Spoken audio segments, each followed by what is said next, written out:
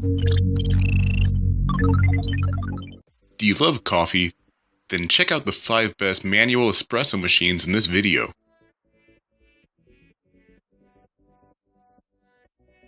At number 5, we have the Bialetti Stovetop. If you need to make rich, velvetly espresso for the crowd, the Bialetti Stovetop is available in multiple sizes from 1 to 12 cups. You'll find this classic design in most Italian homes, although some say the stovetop method doesn't produce a true espresso. The aluminum pot features Bialetti's distinctive eight-sided shape that allows it to diffuse heat perfectly to enhance the aroma of your coffee.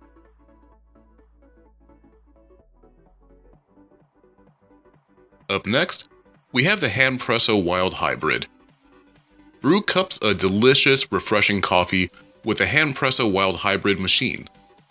This espresso machine will be a handy companion on your travels. It has a high pressure extraction system with a 16 bar hand pump. You can use ground coffee or an ESE pod with this espresso machine and make delicious brews. What's more, this manual espresso machine is made of plastic and is available in black.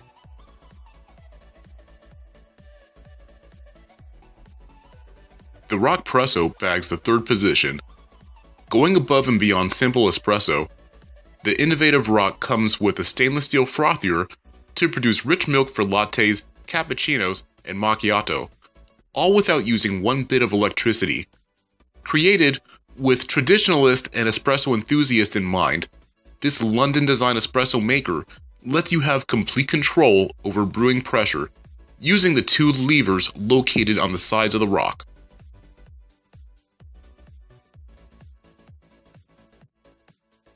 The second product on this list is the Minipresso GR.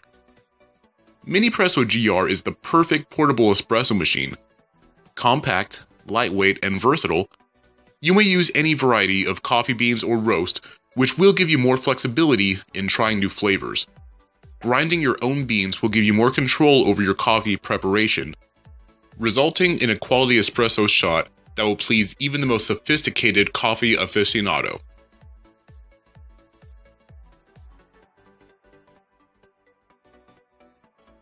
The top product on this list is La Pavone Europiccola. This EPC 8 stylus machine is built to last and designed to give you constant, perfect espresso with each pull of the lever.